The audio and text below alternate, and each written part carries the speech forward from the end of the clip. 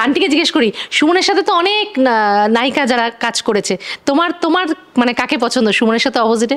মানে ফেভারিট নায়িকাকে একটু শুনি। বলি মিষ্টি কথা? হ্যাঁ। আমি মডেল হব।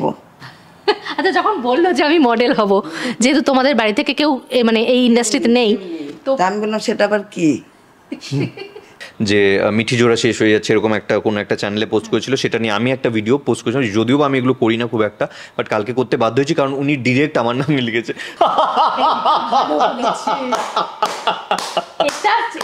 দারুণ দারুণ দারুণ দারুণ। কি বললাম আমি? এটা পেয়েছি? বলো আমি কি টাকা দিই না নাকি শাড়িটারি কেনার? তা বলছো না কেন? এগুলো সব তো দর্শক তো সব ভাববে যে এই সুমন কিছু দেয় না। সবাইকে দুই দুই দুই দেয় তো? আমি বলি আমার তো তুই রাখ। আমি দুই নেব না আমি মা। বেশি নেব। হ্যাঁ। বাড়িতে মানে টেকনোলজি সব আছে।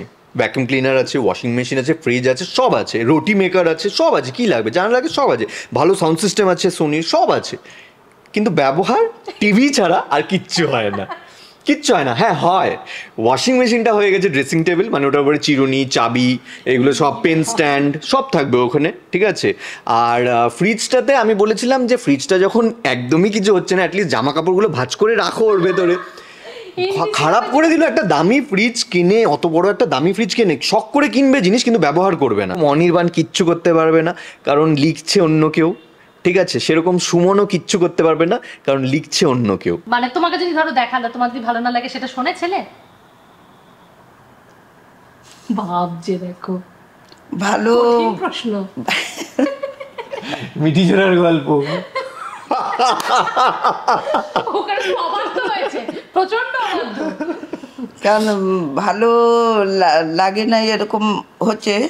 তারপরেও কিছু মেনে নিলাম তারপরে দেখি উধাও। এটাই। সেই যে ভয়টা পেলাম না ওটা আজও আমার মন থেকে যায় নাই। আর সত্যি কথা ও কিচ্ছু নেয় না গো।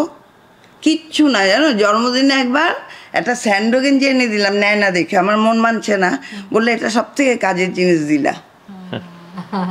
কিচ্ছু নেয় না পুজোতেও কিছু নিতে চায় না। এবার মেয়ে এবার ছেলের মানে বিয়ে দেওয়ার কি মানে চিন্তা ভাবনা কি করেছ? আগে একটু শুনি।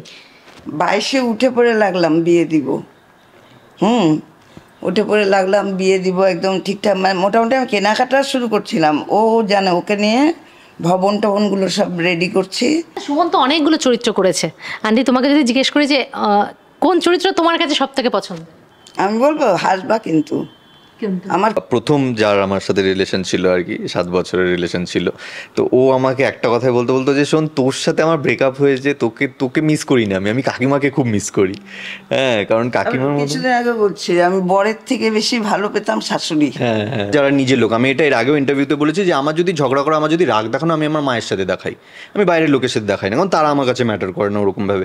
মায়ের সাথে দেখাই এবার দেখো আমার আমি না ভীষণ কি বলতো আমি ওরকম না যে একটা জিনিস ধরে বসে থাকব।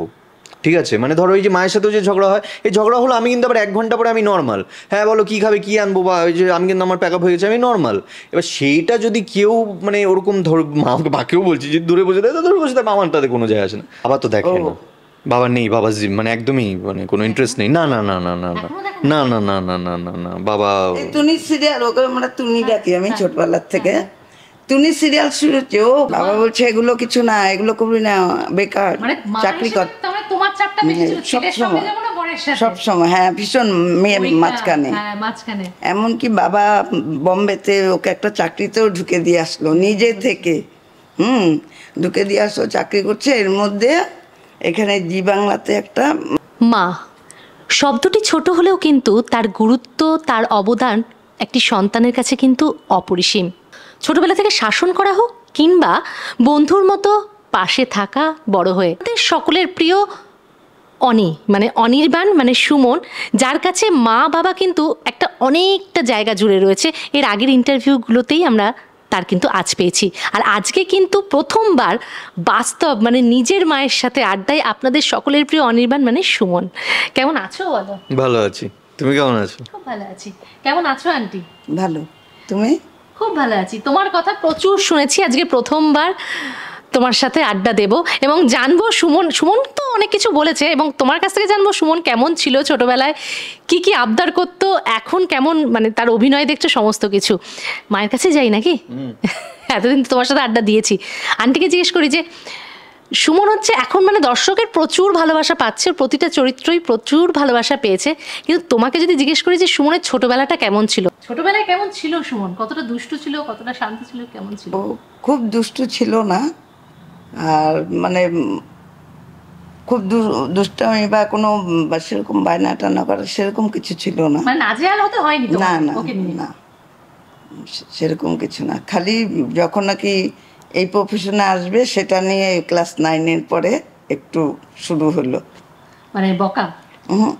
আমি মডেল হব। আচ্ছা যখন বলল যে আমি মডেল হব যেহেতু তোমাদের বাড়ি থেকে কেউ মানে এই ইন্ডাস্ট্রিতে নেই তো তা আমি বললাম সেটা আবার কি?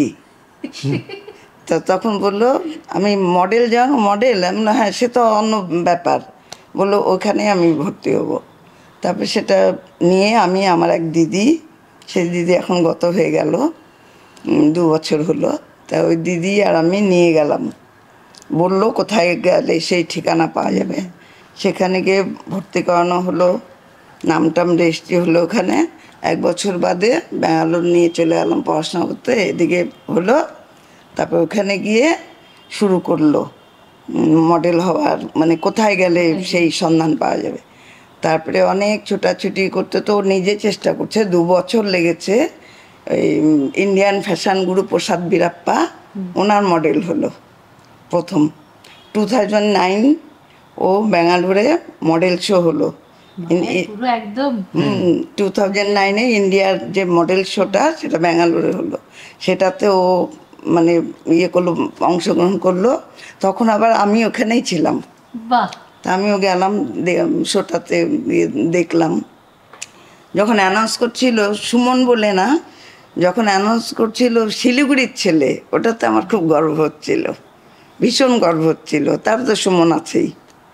বাবার সাপোর্ট কি প্রথম থেকেই ছিল? মানে বাবা বলছে এগুলো কিছু না এগুলো করবি না বেকার মানে চাকরি কর তাহলে তোমার চাপটা বেশি ছিল ছেলের সঙ্গে সময়। যাব না বরের সাথে। সব সময় হ্যাঁ ভীষণ মেয়ে মাঝখানে। হ্যাঁ এমনকি বাবা বম্বেতে ওকে একটা চাকরিতেও ঢুকে দিয়ে আসলো নিজে থেকে। হুম ঢুকে দিয়ে আসলো চাকরি করছে। এর মধ্যে এখানে জি বাংলাতে একটা মানে ওকে ডাকা হলো কোনো একটা ইসের জন্য মানে কোন সিরিয়াল আমার মনে নেই। ওটা যেমন তখন আমাকে বোম্বে থেকে বলল মা বাবা তো চাকরি ঢুকে দিয়ে গেল আমি এখন কি করব।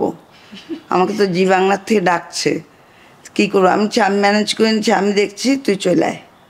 তুই বোম্বে থেকে চলে আয়। মা একেবারে ফুললি সাপোর্ট ছিল তোমার ভীষণ ভীষণ সবসময় ইয়ে করতাম জানতাম।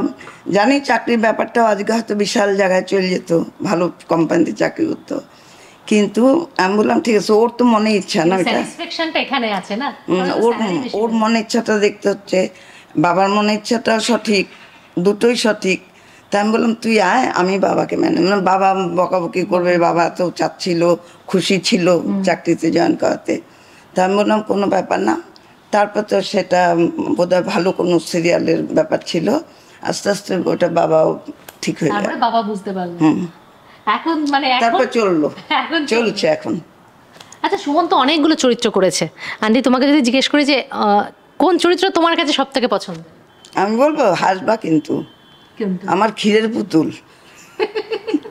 রাজা? আমি ওকে বলছি দেখ আমি যত চরিত্র হোক আমি কোনোটাতে তো একই সুমনকে দেখব। কিন্তু রাজা সুমন্ত ওটা তো সুমন্ত নাম ছিল না? সুমন্ত। সামন্তক, সামন্তক। রাজা সামন্ত সামন্তক, হ্যাঁ। সেই রূপ এটাও ভালো এটাও একটা ক্রিয়েটিভ জিনিস সুমন্ত হ্যাঁ মানে ম- মনে পড়ছে সুমন্ত না সামন্ত যাই হোক। হ্যাঁ। তা সেই চেহারাটা তো আমি দেখতে পাবো না না অন্য সিরিয়ালে ওই জন্য আমি আমার ছেলেকে রাজা দেখলাম। ও মায়ের সত্যি একদম। এমনিও রাজা মনের রাজা কিন্তু সুমন এটা ঠিক। রাজার রূপে দেখলাম একবার সেই জন্য ক্ষীরের পুতুল আমার ভালো লাগে। কিরে পুতুল। আর এখন অনির্বাণ চরিত্রটা কেমন লাগে? দর্শকদের তো প্রচুর ভালোবাসা। হ্যাঁ অনেকবার ভালো লাগছে। ভালো লাগছে? বাচ্চা মা মা মা না বাবা? কে বেশি সমালোচক? কে বেশি? সমালোচক তোমার কাজে। অ্যাকচুয়ালি মানে আমার কাজ দেখে অভিনয় দেখে ও বাবা তো দেখে ও। না। বাবা নেই বাবা জি- মানে একদমই মানে কোনো ইন্টারেস্ট নেই না না না না না না না না না না না না না বাবা তুনি সিরিয়াল ওকে আমরা তুনি ডাকি আমি ছোটবেলার থেকে তুনি সিরিয়াল শুরু হচ্ছে ও কই দেখি দাঁড়াল কিছুক্ষণ তারপর কখন ভুলে গিয়ে চলে গেল দু মিনিট মানে বসে যে দেখা টাকা ওরকম না এরকম করে দাঁড়িয়ে একটু দেখল মানে যেহেতু বলা হয়েছে বলে দাঁড়িয়েছে মানে নিজে থেকে এসে যে দাঁড়িয়ে দেখবে বা ধরো এই নটার সময় সিরিয়াল হবে যে খোলা না। মাই দেখে। হ্যাঁ মাই দেখবে মাই আত্মীয়দেরকে বলবে এটা দেখিস কিন্তু এটা দেখাবে বা ওই সময় এসে করবে। বাবার সব কোনো মা বলে যে বাবু তোর এটা আজকে ভালো লাগল বা এটা একটু এরকম মানে এরকম কিছু বলে? মা নিজে থেকে মা মা আমার কথা বলে না মা হলো অন্যদের কথা বেশি বলে অন্যদের অভিনয় নিয়ে বেশি বলে। আমারটা আমি জিজ্ঞেস করি মাকে ঠিক আছে? যে মাকে আমি জিজ্ঞেস করি যে ঠিকঠাক ছিল ওটা কেমন? যে ওটা কি ঠিক লাগল? মানে তোমার মনে হলো যে আমি ওই জায়গাটা কি একটু ওভার অ্যাক্টিং করলাম? বা তোমার কি মনে হচ্ছে যে আমি একটু মন মন দিচ্ছি না বা একটু মানে খামখেয়ালিভাবে এরকম কোথাও কি মনে হয়েছে? হ্যাঁ বা আমার যেগুলো নিয়ে খুঁতখুত হয় যে এইটা কিরম করল আমি আমি সবার আগে মাকে জিজ্ঞেস করি কারণ মা অনেস্ট ফিডব্যাক দেয় আর কি আমাকে ঠিক আছে? আর মাকে আমি সবার আগে মা যদিও বলে না কিন্তু সবার আগে আমি এটা বলি যে নিজের ছেলে বলে কিন্তু তুমি না না না একদম একদম ডে ওয়ান থেকে যেটাই অনেস্টলি বলে কিন্তু মা অন্যদের অভিনয় নিয়ে বেশি আমাকে বলে যে ওর অভিনয়টা খুব ভালো লাগছে বা ওর এটা ভালো লাগছে বা ওর খিদেটা বাড়ি দেয় অন্যদেরটা ভালো হ্যাঁ ও খালি অন্যদেরটাই বলে আমারটা আমি জিজ্ঞেস করি। আচ্ছা আন্টিকে জিজ্ঞেস করি যে ছেলে তো একা থাকে মানে এই যে ফ্ল্যাটটা নিল, নতুন, নিজের একদম যোগ্যতায় নিল, তো তোমায়, তুমি তো ওইখানে, চিন্তা হয় না মানে একা থাকে, একা সমস্ত কিছুটা সামলায়? সবসময় চিন্তা হয়, সবসময়। আসি, যখন আসি, কিছুদিন থাকি, আসলে কি, ওখানটা তো নিজেদের জায়গা, বাড়ি তো আছে, নিজের বাড়ি তো বটেই জায়গাটা নিজস্ব তো। এখন তো এসে বলছো চলে যাব চলে যাব। হ্যাঁ ওই জন্য চলে যেতে ইচ্ছা করে। তাহলে কি করে হবে? ছেলেটা যে একা আছে? ওই জন্য তো আসি। মাঝে মাঝে আসে।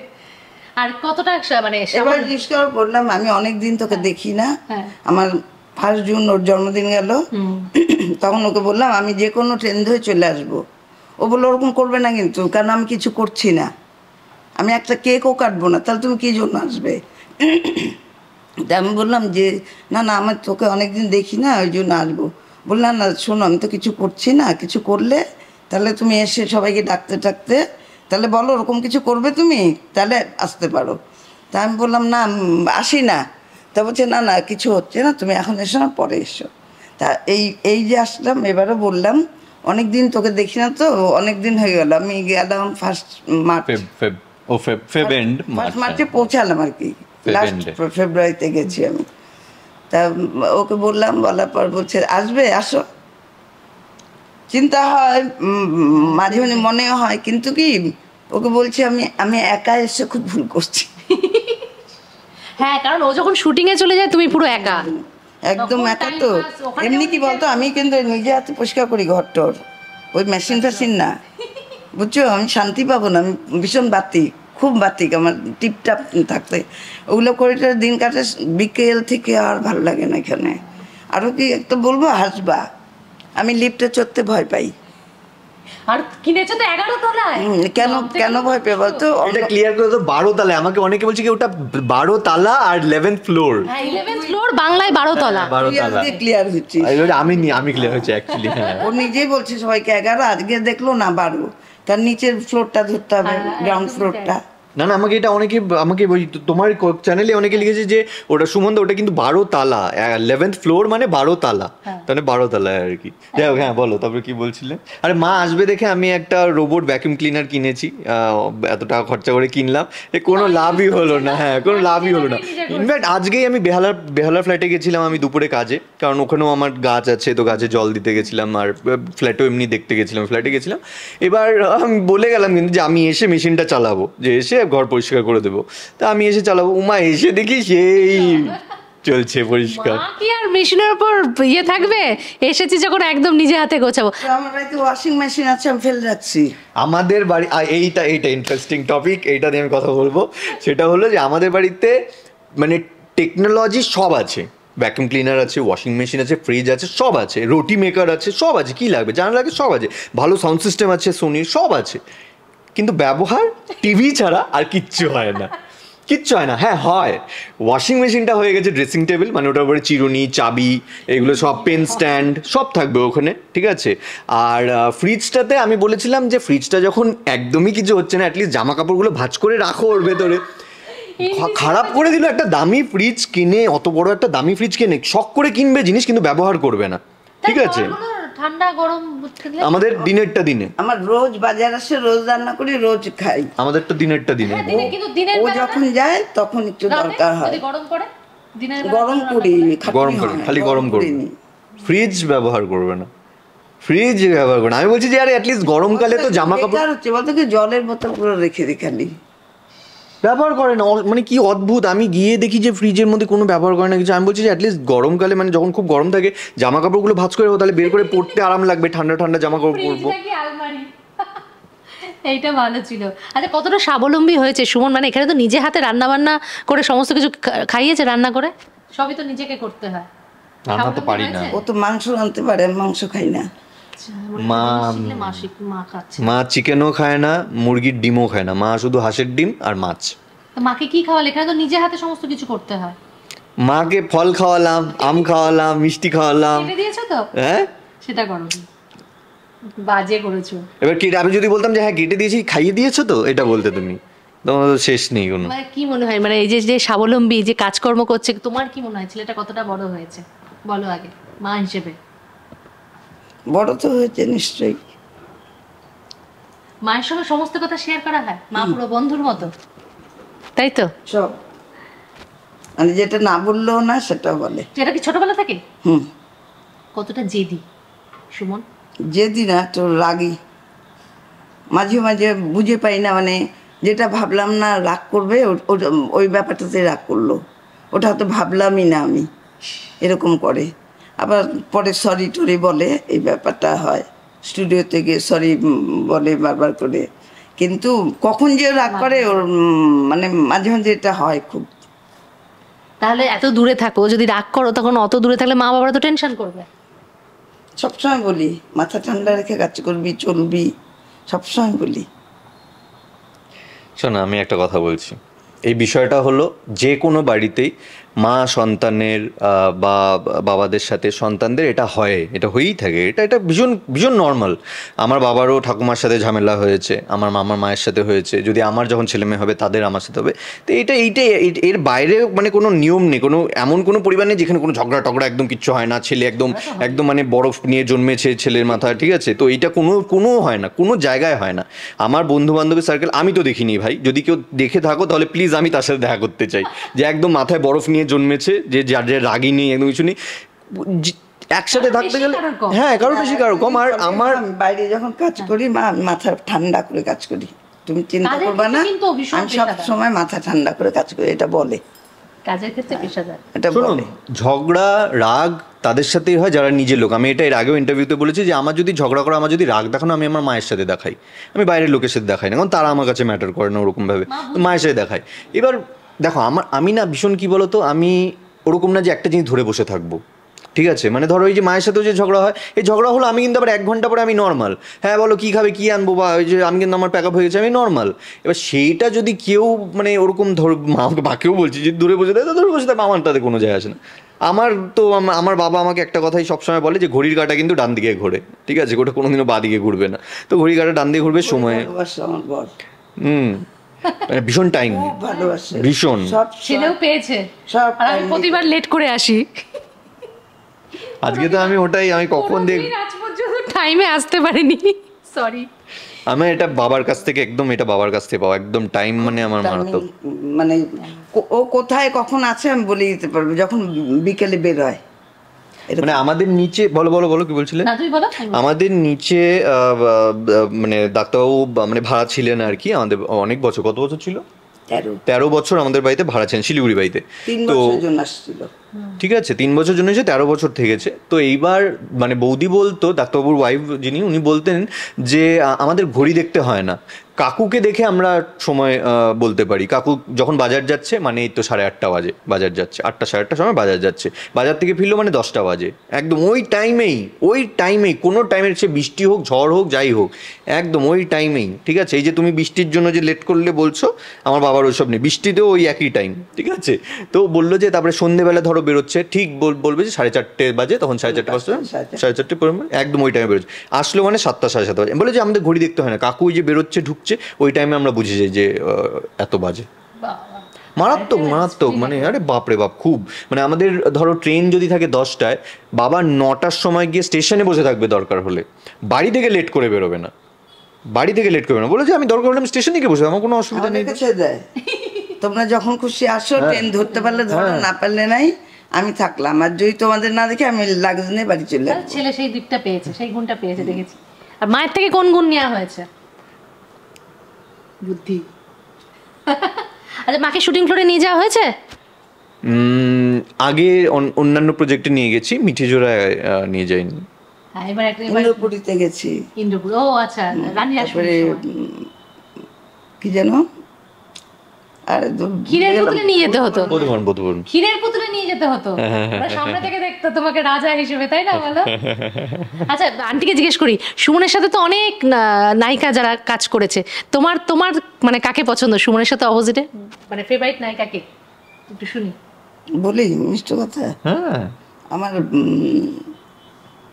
এ আমার গুরু দক্ষিণা সিরিয়ালটা করল যে ওকে খুব ভালো লাগতো। দেবোত্তমা। দেবোত্তমা। ভীষণ ভালো লাগতো মানে ব্যবহার ওর চালাচলতি কথাবার্তা আমার সাথে মেশা খুব ভালো লাগতো। খুব ক্লোজ ছিলাম। বাহ দারুণ। আচ্ছা এবার মেয়ে এবার ছেলের মানে বিয়ে দেওয়ার কি মানে চিন্তা ভাবনা কি করেছ? আগে একটু শুনি। বাইশে উঠে পড়ে লাগলাম বিয়ে দিব। হুম উঠে পড়ে লাগলাম বিয়ে দিব একদম ঠিকঠাক। মানে মোটামুটি আমি কেনাকাটা শুরু করছিলাম। ও জানে ওকে নিয়ে ভবন টবনগুলো সব রেডি করছি। তখন আমার শাশুড়ি মারা গেল। এক বছর হবে না পুরোহিতকে বললাম যে ছ মাস পরে যে করা যায় বলল ওটা অন্য পুরোহিত দিয়ে করেন উনি আমাদের বাড়ির পুরোহিত শ্বশুরবাড়ির। তো বলল অন্য কোনো পুরোহিত দিয়ে করেন আমি ওই পাপ কাজ করি না। এক বছর না গেলে হবে না। বাইশ চলে এলো তা ওকে একজন বলছে মানে যাকে আমরা খুব বিশ্বাস করি উনি বলছে ওকে জোর বছরে বিয়ে দিতে যেটা এখন চব্বিশ। চলছে। এখন চব্বিশও যদি না হয় তাহলে ছাব্বিশ ছাব্বিশ না হলে কি আঠাশ? কারণ এত বড় ফ্ল্যাটটা করেছে এবার তো দরকার। হ্যাঁ নিশ্চয়ই খুবই দরকার। মা তো একদম চেয়ে বসে আছে ছেলে প্রেম টেম করে বা কাউকে ভালো লাগলে জানায়। প্রেম টেম করুক বিয়ে করুক যেমনি হোক বিয়ে হোক। যেমনি হোক বিয়ে হোক বিয়ে পিড়িতে বসলে হ্যাঁ। না, আমি সেটা বলছি না ধরো কাউকে ভালো লাগল বা কিছু এটা জানায়? একদম। মানে পুরো বন্ধুর মতো। মানে তোমাকে যদি ধরো দেখাল তোমার যদি ভালো না লাগে সেটা শোনে ছেলে? ভাবছে দেখো। ভালো। প্রশ্ন। মিঠিজোড়ার গল্প। ওখানে প্রচণ্ড কারণ ভালো লা- লাগে না এরকম হচ্ছে। তারপরেও কিছু মেনে নিলাম তারপরে দেখি উধাও। বেচারার দোষ থাকে না। কিছু করার নেই। না এবার খুব শীঘ্রই বিয়ের পিড়িতে মানে দেখাশোনা কি চলছে? তুমি করছ? বুঝছ তো মানে আসছে যাচ্ছে আসছে যাচ্ছে এরকম হচ্ছে। না না এবার হয়ে যাবে। দেখাশোনা চলছে তোমার তরফ থেকে? দেখাশোনা বাইশে বাইশে বলল তুমি করো তুমি যাকে পছন্দ করবে তার সাথে বিয়ে করব। আর 24 বলে তুমি দেখো। তারপর চব্বিশে না কিছু বলে না এটা নেওয়ার পরে। এই ফ্ল্যাটটা নিয়ে হ্যাঁ হ্যাঁ। এটাতে এত বিজি হয়ে যাচ্ছে না হ্যাঁ, খুব বিজি হয়ে কিছু এটাতে খুব বিজি হয়ে যাচ্ছে সব দিক দিয়ে। ফাইন্যান্স বলো তারপরে কেনাকাটা সাজানো সবটাতেই হচ্ছে না। যার জন্য বিয়ের ব্যাপারটা সত্যি কোনো আলোচনাই হচ্ছে না। আমাকে তো শিলিগুড়িতে চারদিক থেকে চেপে ধরছে। শ্বশুর বাড়ি আমার শ্বশুর বাড়ি মানে ঠাকুমা বাড়ির লোকজন না সেই মানে উৎসাহ কি মানে খালি খবরটা নিচ্ছে। আমার বাপের বাড়ি তারপরে আশেপাশে অনেক কেউ। আচ্ছা আন্টিকে জিজ্ঞেস করি যে অভিনয় করলে অনেক মানে রুম রিউমার ছড়ায়। মানে অনেক সময় তো সুমনের সাথেও তো যেসব নায়িকা সব ধরো ধারাবাহিক করে অনেক সময় বলে এর সাথে প্রেম করছে ওর সাথে প্রেম করছে। এইগুলো যখন দেখো সোশ্যাল মিডিয়ায় এটা কেমন কেমন এনজয় করো কেমন লাগে বলো? আমি তার আগেই জানতে পারি। তার আগে কার কাছ থেকে ওর কাছ থেকে? তুমি খবর দিয়ে দাও যে মায়ের সাথে এটা হচ্ছে এই হচ্ছে। আমি তো মার সাথে সবই শেয়ার করি সবই প্রায় সবই শেয়ার করি। তার জন্য আমার আশ্চর্য কিছু লাগে না আমি জানতে পারি। সব শেয়ার করি একটা জিনিস বাদে সেটা হলো আগামী এপিসোডে কি দেখাবে। এটা যে জানতে হ্যাঁ? হ্যাঁ খালি জানতে চাই। আপনাকে দেখতে হবে আগামী এপিসোড মানে এখানেও বলবে না ছেলে একটুও বলো না হিন্টও দাও না। মানে কি বাজে না তখন মনে হয় না যে কেন বলছে না? আমাকে অনেকে বলে কি শোনো না ওটা যে হলো তাহলে কি হবে গো এখন? একটু ভাইকে বলল না। আচ্ছা ভাই তাহলে বলবে আপনি দেখুন আগামী এপিসোড এইটা ভালো কথা বলেছে। কাজ আগে। কাজ আগে কাজের প্রতি সত্যিই ডেডিকেশন এটাকে ছোটবেলা থেকে গো মানে নিজের কাজের হ্যাঁ ও মানে একটু কাজের প্রতি টিপটা ছোট ছোট ছিল তো যেমন ঠাকুমাইতে যেত। তা ঠাকুমা আমার জয়েন্ট পরিবার বিশাল পরিবার আমার শ্বশুরবাড়ি। তো ওখানে মানে গেলে পরে ধরো দুটো বই নিয়ে গেল দুটো গেঞ্জি প্যান্ট নিয়ে গেল। ওগুলোকে কী করতো? ঠাকুমাইতে রাখতো না পিসি বাড়িতে গিয়ে রেখে আসতো। কেন কেউ এলো ঝেলো করে ফেলবে কেউ ওর বই কোথায় যাচ্ছে রেখে দিবে। এলো ঝেলো আর কি পরিবার জন্য বাড়ি তো ও এরকম ছিল। নিজে ঠিক গুছিয়ে হ্যাঁ, হ্যাঁ, এই জন্য তো এত সুন্দর গুছিয়ে রেখেছে একা হাতে ছেলে ছেলের ঘর সাজানো মানে বেহালা বাড়িতে আসব তোমরা আসবে যে দুদিন ধরে ঘর পরিষ্কার করছি। এসেই বলবে এখানে বালি লাগছে ওখানে বালি লাগছে। পাই না যাই হোক ও তো টাইম পায় না না? আচ্ছা এমন একটা কিছু সিক্রেট বলো সুমনের যেটা দর্শকরা বা কেউ আমরা জানি না মা। এমন কিছু ঘটনা বা কিছু আছে? জানো না জানা দিব কেন?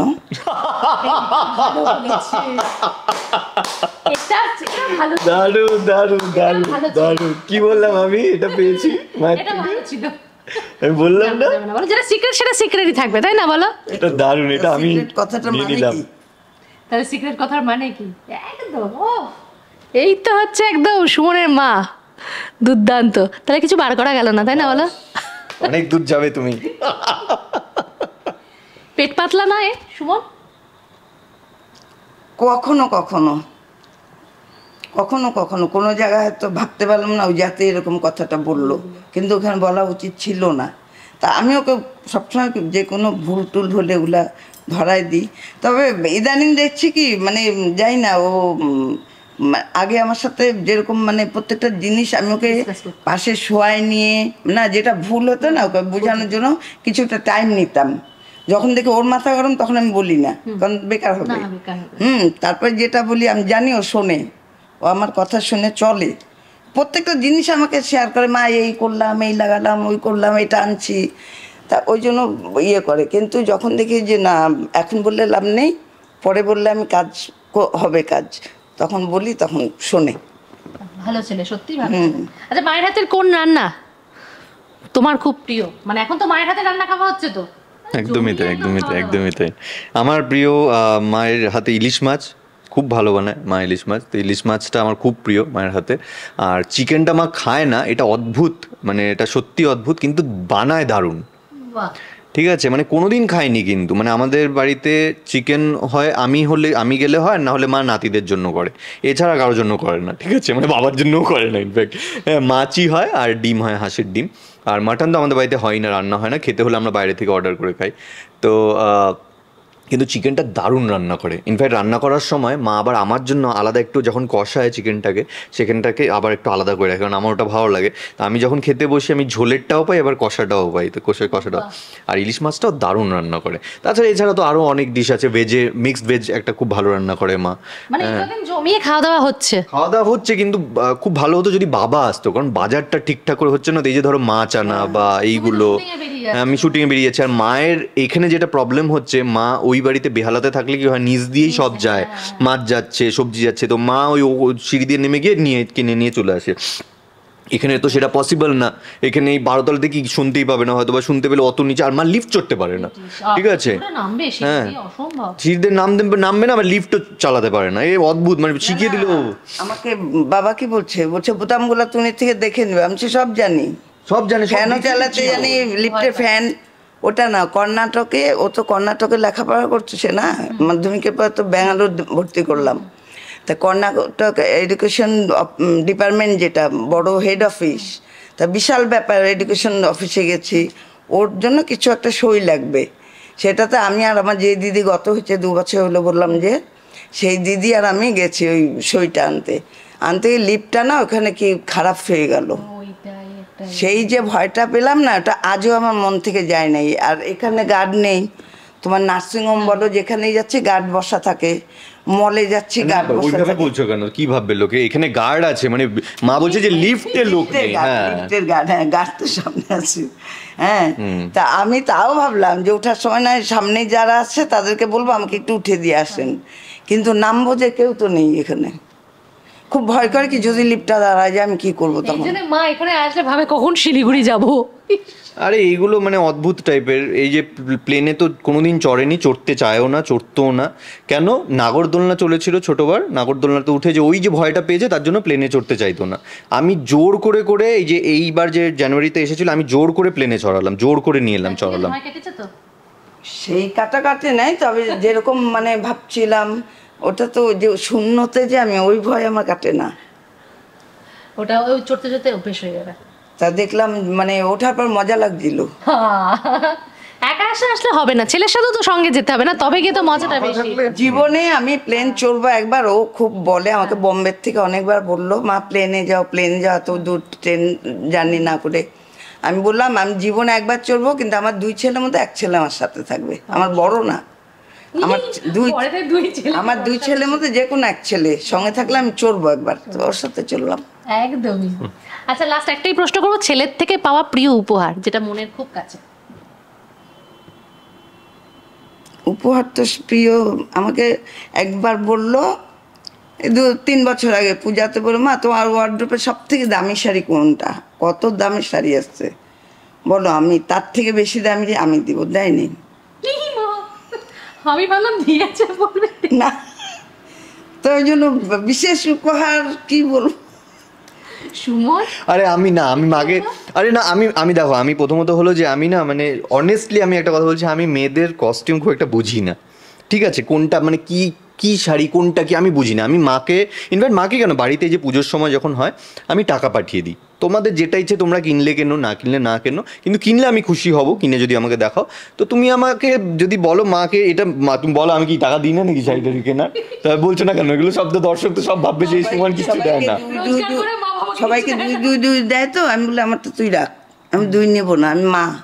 বেশি নেব। হ্যাঁ। কিন্তু সত্যি কথা ও কিচ্ছু নেয় না গো। কিচ্ছু না জানো? জন্মদিনে একবার একটা স্যান্ডো গেঞ্জি এনে দিলাম নেয় না দেখে আমার মন মানছে না। বললে এটা সব থেকে কাজের জিনিস দিলা। কিচ্ছু নেয় না পুজোতেও কিছু নিতে চায় না। আমার ইচ্ছা করে আমি দিই। অবশ্যই। হ্যাঁ কিছু নিক সে অনেক দামি না হোক তবু প্যান্ট শার্ট এগুলো তো পূজাতে নেই। ও নেয় না ও দাদা বৌদি দেয় ওটাই খালি নেয়। তো। ওদেরকেও না বলে। আমি না করি। ইনফ্যাক্ট এই যে আমার আমার ফ্যান্সরা যারা আমাকে গিফট পাঠাতে চাই যে এগুলো যে দিয়েছে, আমি ওদেরকেই মানা করি পাঠাতে। এই যে, ওই যে বুদ্ধটা যে দেখলে ওইখানে যে দিয়েছে। বুদ্ধ দিয়েছে একে বলে বলছে, না, তুমি বেকার দিচ্ছ, আমি কিন্তু আমার ঘরে রাখব না। বলছে, একদিন রাখেন। না না লাগিয়েছে। যে যে দিয়েছে হ্যাঁ, আর আমি কাউকে আমি এটা দেখলে জানতে পারবে। দেখিয়ে দেবো। আমি আমি আমি আমি বলি যে কারোর কিছু লাগবে কারণ আমি আমি অনেক পেয়েছি। সত্যি কথা বলতে গেলে আমি আমি অনেক এই ছবিটা দিলেও ভালো বয়স্ক ভদ্রলোক। নিজে আর্ট করে এনে আমার বাড়ির সামনে ঘুরছিল। আমি দেখছি সন্ধ্যার থেকে ঘুরছিল। মা একটু এদিকে এসো ওদিকে চলে যাচ্ছে। কোন দিকে যাব? এদিকে এসো হ্যাঁ।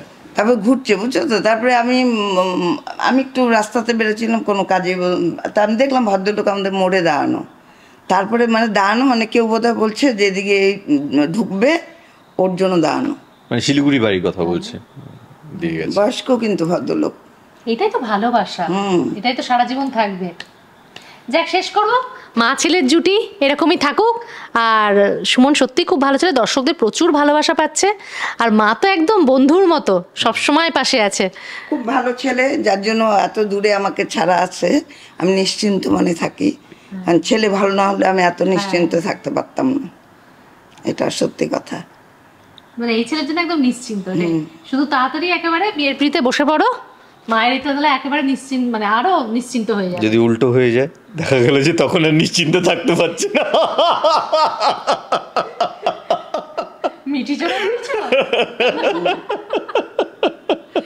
ভয় দেখিও না যার সাথে যার সাথেই হোক আমি রাজি। তাহলে এত বড় কথা বলে দিয়েছে যার সাথেই হোক রাজি। ওর জীবন সঙ্গে আর এরকম মা- যদি শাশুড়ি মা পায় তাহলে এমনি বউ বউমাও ভালো হবে। না আমার। আমার আহ, আমার প্রথম যার আমার সাথে রিলেশন ছিল আর কি সাত বছরের রিলেশন ছিল তো ও আমাকে একটা কথাই বলতে বলতো যে শোন তোর সাথে আমার ব্রেকআপ হয়েছে তোকে তোকে মিস করি না আমি আমি কাকিমাকে খুব মিস করি। হ্যাঁ কারণ কাকিমা কাকিমার মতো কিছুদিন আগে বলছি আমি বরের থেকে বেশি ভালো পেতাম শাশুড়ি। হ্যাঁ হ্যাঁ। হ্যাঁ ও এটা ব- আমাকে অনেকবার বলেছে। বলছে যে আমি কিন্তু জানিস তো বরের থেকে ভালো শাশুড়ি পেতাম আর কি। আমি শাশুড়িটাকে মিস করি খুব। হ্যাঁ তো ওর সাথে এখন আমার বন্ধুত্ব আছে। তো বলে যে তোর সাথে ব্রেকআপ আমার কোনো কোনো আফসোস হয়নি। কিন্তু কাকিমার সাথে আমার মানে ওই বউ শাশুড়ি রিলেশনটা হলো না ওটাই আর কি মিস করে। ওই আর কি। যাক হয়ে যাবে। শাশুড়ি মা শাশুড়ি একদম সেই ইয়েতে থাকবে। ঠিক হয়ে যাবে ভগবানের কৃপায়। একদম। ঠাকুরকে বলল যে তাড়াতাড়ি তাড়াতাড়ি একদম বিয়ে পিড়িতে বসবে। আর কতদিন শূন্য শূন্য থাকবে না? হ্যাঁ এত বড় ঘর বানিয়েছে তো। এবার তো শাশুড়ি মা আসলে এবার বলবে না বৌমার হাতে খাব তাই না? তা তো বলতে পারব একটু আয় না আমার সাথে লিফটে নামবি। বেচারা লিফটের জন্য নিয়ে আসবে। ওটাই যন্ত্রণা আমার। ওটাই যন্ত্রণা। আর এমন ওপরে বাড়ি করেছে হ্যাঁ। শোনো নামতে পারব উঠতে তো পারব না। বাবা থাকলে সত্যি কারণ বাবা বাজারের বাবার একটা অভ্যেস যাবে কেন? না শিফট করা যাবে না ছেলের সাথে। ওখানে বাড়ি। শিলিগুড়ি ছেড়ে না। মানে দাদা বৌদি পুরো আদরটা নিয়ে নিচ্ছে মা বাবার। আছে না দুইটা? নাতি নাতি দুজন দুজন। আরে বাপ। রে দাম সুদেদাম বলতে ওদের প্রতি তো একটা আলাদাই নাতি না ওরা। তার মধ্যে সেরকম না করে। এই যে এখন আমাকে পাচ্ছে না তো দাদুকে রেখে দিচ্ছে। হ্যাঁ, দাদু তো অন্য বাড়িতে এটা- এটা এটা এটা সত্যি যে আমার তো মানে- ওখানে তিনটা বাড়ি ছিল একটা ফ্ল্যাট বিক্রি করে দিলাম। অত ঝামেলা নিতে পারি না। লোকে যেমন দশটা বারোটা বাড়ি ঘর নিতে পারি না বুঝছ? ওটা জানলা খুলতে যেতে হয় না ড্যাম লেগে যাবে দরজার জানলা নষ্ট হয়ে যাবে খোলো বন্ধ করো বিক্রি করে দিলাম জলের দামে একদম শিলিগুড়ির মতো জায়গায়। তা এখন অরবিন্দপল্লীতে একটা বাড়ি যে সেটাতে আমরা থাকি। আমি নাতিদের কাছে এক এক ঘণ্টার জন্য গেলাম বারো দিন দশ দিন থেকে আসলাম। আসতেই দিল না। সেটা এখন আমাকে পাচ্ছে না এখন দাদু কাটকাচ্ছে ওরা। দাদু থাকার লোক না। দাদু যাবে ঘড়ি নাতি হোক ছেলে বউকে খুব ভালোবাসে বড় ছেলে বউকে। প্রচণ্ড টান ওই ছেলে বউর প্রতি একটা আলাদা টান। তারপর ছেলে বউ আসেননি বাবা। ঘড়ির টাইম হলেও ছেলে বউ পাত্তা পাবে না। ঘড়ি মেন গৌরী মেন হ্যাঁ। ও পাঞ্চুয়াল একদিন আলাপ করতে হবে আঙ্কেলের সাথে। আঙ্কেল আসলে ডাকবে। ঠিক আছে ঠিক আছে শেষ করব এরকমই আনন্দে থাকো। আর মা যখন এসেছে এবার চুটিয়ে ভালো মন্দ খাওয়া দাওয়া রান্না মানে খাও।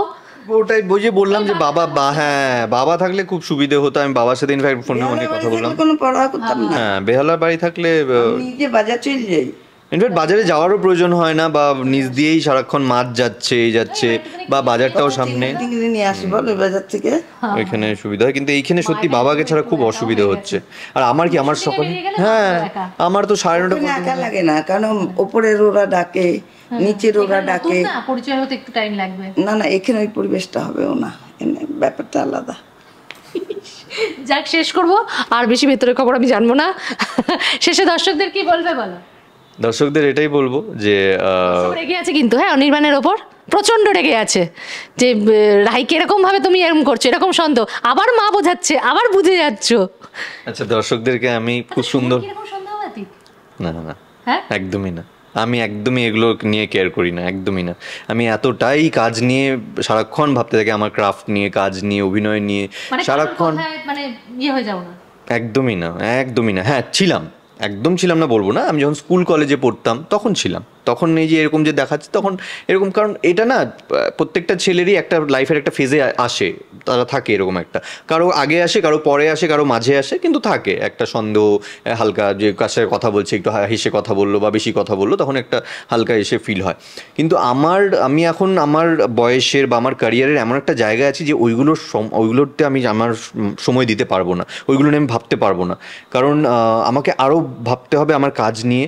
এবং আমি সারাক্ষণ হয় মানে আমাকে ফোনে যদি কেউ দেখে, ব্যস্ত, আমি কিন্তু ফোনে এক বিন্দু মাত্র আমি চ্যাট করছি না। কাউকে বা স্টক করছি না কাউকে, আমি সারাক্ষণ হয় ঘর সাজানোর জিনিস দেখছি, যে ঘরে এটা সাজাবো, এই যে যেরকম ঘড়িটা আজকেই লাগালাম, ঘড়িটা দেখছিলাম, এই শিব ঠাকুরের ফটোটা হাজারটা ফটো দেখে ওই শিব ঠাকুরের ফটোটা আমি চুজ করেছি। হাজারটা ঘড়ি দেখে একটা ঘড়ি অলরেডি এসে আবার ঘুরিয়ে দিয়েছি রিটার্ন করে দিয়েছি, ঠিক আছে? ওটাও হাজারটা দেখে ওটা চুজ করেছি, ওটাও রিটার্ন করে দিলাম, আবার হাজারটা দেখে এই ঘড়িটা নিলাম।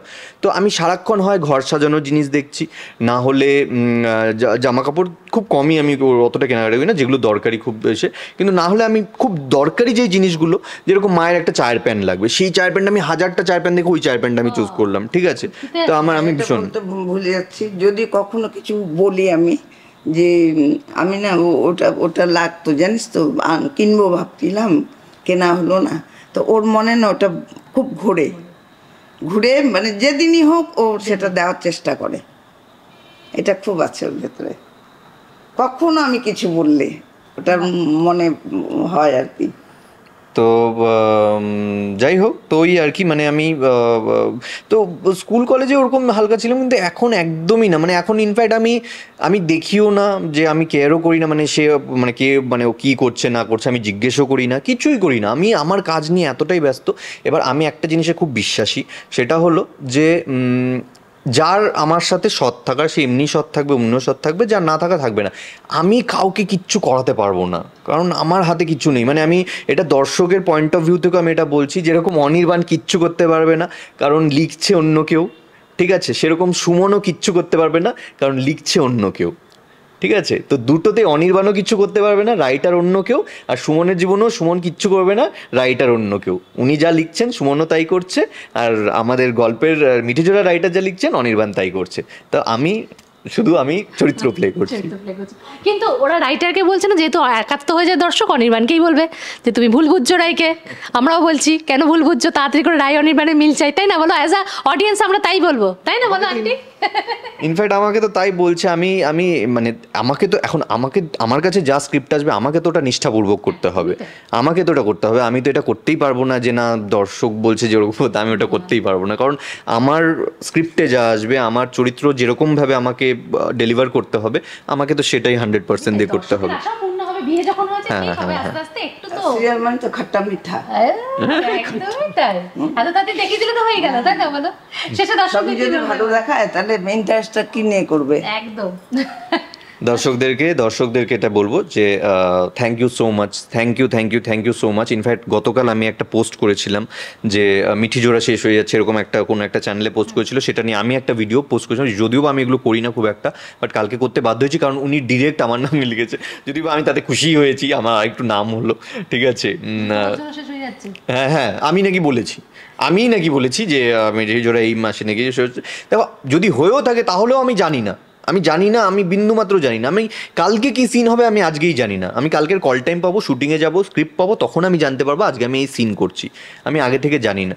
ঠিক আছে তো ওটাই বলছি দর্শকদেরকে যে থ্যাংক ইউ সো মাচ আপনারা সবসময় এত বছর ধরে দু হাজার এগারো থেকে এটা দু হাজার চব্বিশ, এত বছর ধরে আপনারা আমাকে এত ভালোবেসেছেন এখনও ভালোবাসছেন, আর কে কি বলল আপনারাও পরোয়া করেন না। আমার মানে আমার ফ্যান্সরা বা আমাকে যারা ভালোবাসে, আমারই মতন। থ্যাংক ইউ সো মাচ আমি আমার একটাই উদ্দেশ্য আমার জীবনে আমি সবার উপরে যে উদ্দেশ্যটাকে রাখি সেটা হলো যে আমি আপনাদেরকে যতদিন বেঁচে থাকব এন্টারটেনমেন্ট দিয়ে যাব।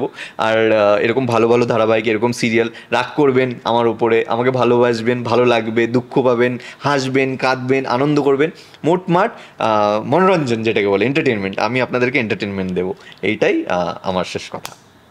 Thank you thank